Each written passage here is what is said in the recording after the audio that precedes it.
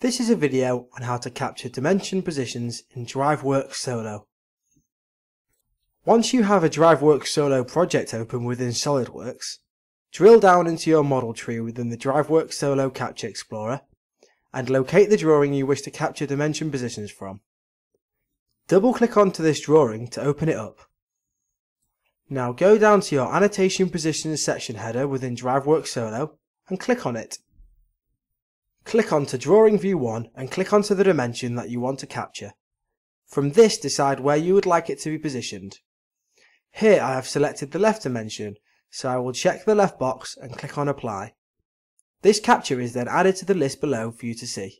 Now I will select another dimension that is located in the top left corner and I will check the left and top boxes, then apply so this is always driven to be in this position.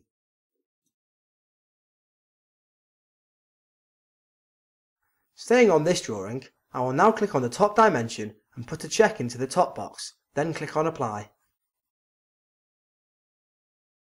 Now I will click onto Drawing View 2 and repeat this process. You are able to highlight more than one dimension at a time and apply the same positions to them. You should be able to see the dimensions that have been captured under the top alignment. So here I will select the two top dimensions from Drawing View 2, put a check under the top box again and click apply. Next I will capture the diameter dimension, align that to the left and click apply. I will also do exactly the same to the dimensions on the right, but align them to the right. Here you can run through your captured dimension positions and check you are happy with them all. If not, you can add to or change a position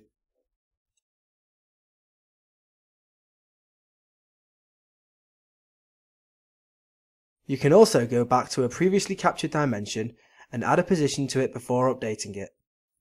If you wanted to slightly alter the position of a dimension, then you can move the dimension itself and then click on Update Positions.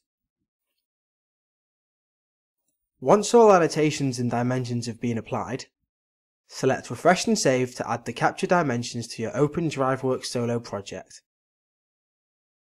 For more information, click on the Help button at any time whilst using DriveWorks Solo, or visit the online help file, which can be found at help.driveworksolo.com.